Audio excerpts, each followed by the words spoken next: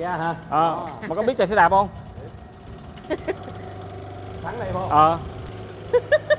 Đừng tông vô tường nha đó vậy đó. Lâu lắm rồi. Chắc ờ, cầm cho hai vợ chồng quậy. Anh chở chi ờ, chạy vòng đi anh. Em chắc chi chở anh quá. Ờ thì giờ hai người ôm eo nhau đi. Ngồi được hả? Xích lên. Lâu lắm rồi mới chạy Đó. ờ, xe xe này nha. đúng rồi. Coi thử nó đèo nổi hai người không Chạy không nổi luôn.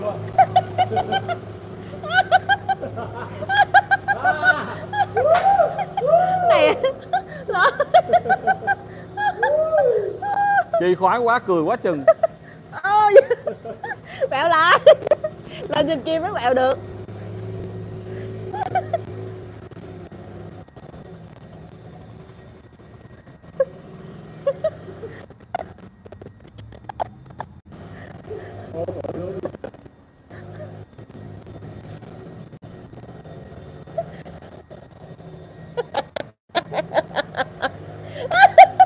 này này xe ôm Xe ôm, xe ôm đi bây giờ. Xe ôm đi. Xe ôm đi.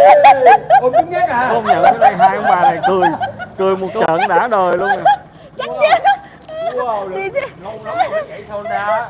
rồi giờ đến phiên chi Đâu đi nha. chi biểu diễn một mình đi một mình được á à Dạ. đúng rồi đó chi ngầu chưa quý vị thấy Tay lái lụa nè. rồi diễn Dạ, viên điện ảnh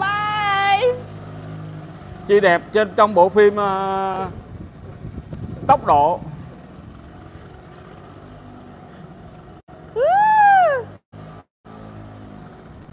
Ồ êm quá anh hả hả? Êm Thế á. mà, ờ hả, dạ. Đúng rồi. Ồ, Xe này xe ok mà. bao nhiêu tiền anh? Chiếc này không có bán. Chiếc này á là chiếc này hồi đó mình mua có ngàn hai à. Dạ. mà cái tiền shipping từ tiểu bang Wisconsin về đây á là hết hình như 900 mấy á. Wow coi như là mà chiếc xe này là đời 1982 nha các bạn. Đó. Ờ. Đó công 1982 nhận ngầu thiệt chứ. Mà chiếc này á là nó rất là hiếm. Ờ, Honda á, nó làm ờ, có 1.000 chiếc à. Cái này Đó. mới chạy được có 5 ngàn à.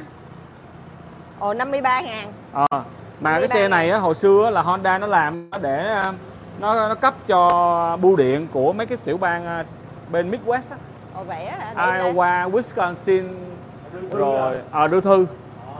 Xong rồi cái à, mình lên mạng mình nghiên cứu á mình thấy cái xe này nó hơi ngộ ngộ mình mua. Mình để dành sau cái bây giờ mình mới biết là cái phiên bản của mình nó là đầy trọn nhất á là cái bửng ở phía trước bửng sau này, này kia là nó đầy đủ luôn. Còn mấy cái xe mà trên eBay các bạn coi á các bạn kiếm chiếc này nó gọi là Honda mà Urban Express. Là dưới chân của dưới chân đây nè.